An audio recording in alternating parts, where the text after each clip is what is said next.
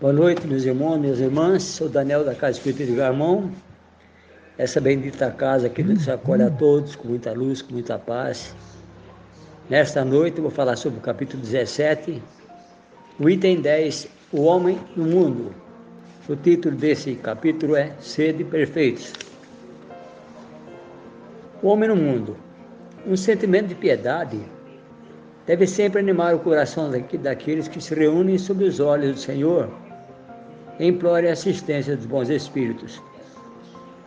Purificai, pois, os vossos corações, não deixei neles devorar nenhum pensamento mundano ou fútil. Levai o vosso espírito até aqueles a quem chamais, a fim de que, encontrando em vós a disposição necessária, possam lançar profusamente a semente que deve germinar em vossos corações e nele dar frutos de caridade e de justiça. Não creais, todavia, em vos exortando, sem cessar a prece e a, e a evocação mental, nós vos exortamos a viver uma vida mística que vos mantenha fora das redes da sociedade em que estáis condenados a viver. Não, vivei com os homens de vossa época, como devem viver os homens, sacrificai as necessidades, mesmo as frivolidades do dia, mas a sacrificai com sentimento de pureza que as possa santificar. Foste chamados a entrar em contato com os espíritos de natureza diferente, de caracteres opostos. Não choqueis nenhum daqueles com os quais vos encontrardes. Sede alegres, sede felizes mas da alegria que dá uma boa consciência da felicidade do herdeiro do céu, contando os dias que se aproxima da sua herança. A virtude não consiste em tomar um aspecto severo e lúgubre, em repelir as, os prazeres que as vossas condições humanas permitem. Basta informar todos os astros sua vida ao Criador, que deu essa vida. Basta. Quando se começa ou acaba uma obra, elevar o pensamento até esse Criador e lhe pedir, no impulso de alma, seja sua proteção para ser bem sucedido, seja, seja a sua bênção para a obra terminada. O que quer que fizerdes, remontai a fonte de todas as coisas. Nada passai sem que a lembrança de Deus venha purificar e santificar os vossos atos. A perfeição está inteiramente, como disse o Cristo, na prática da caridade absoluta, mas os deveres da caridade se estendem a todas as posições sociais, desde a menor até a maior.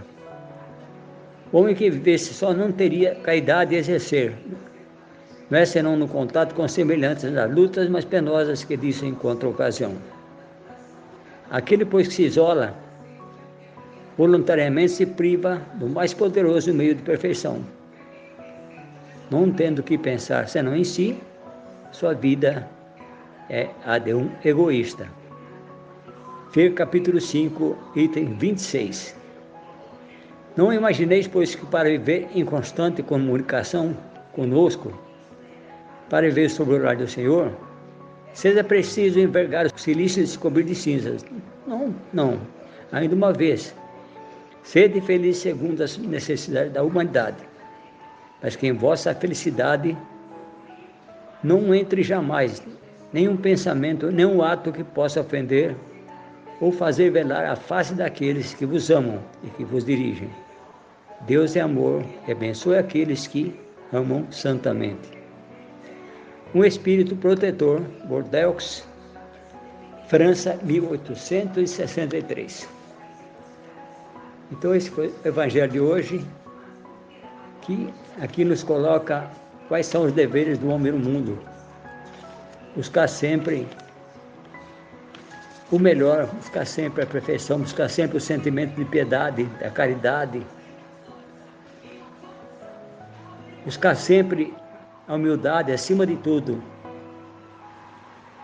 Esse foi o Evangelho de tudo, que nos mostra o, as palavras de hoje, principalmente o sentimento de pureza que faz parte da nossa caminhada e que nos deixa a nossa consciência tranquila.